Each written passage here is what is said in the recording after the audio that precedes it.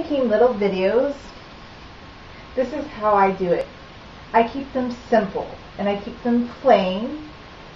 There's no soundtrack because I do not own soundtracks. I am not a music composer and I have been thinking a lot about this lately.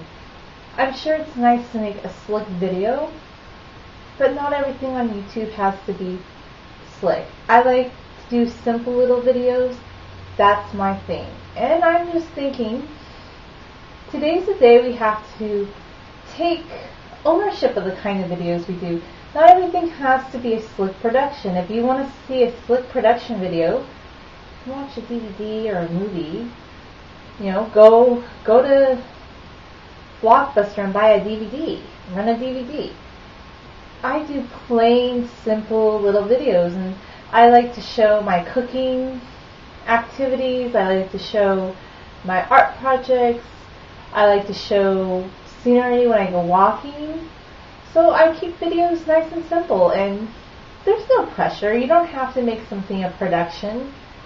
Maybe it's because I'm in my early 30s and I'm not some young person that grew up with technology knowing how to edit all these little videos. And yeah, there are people that know how to edit videos that are my age, but I think they probably had more practice with the video editing programs. I'm just getting my way around them right now. And I'm going to continue doing simple little videos. I think simple videos have a lot of sparkle to them. So that's my views on simple videos. Thanks for watching.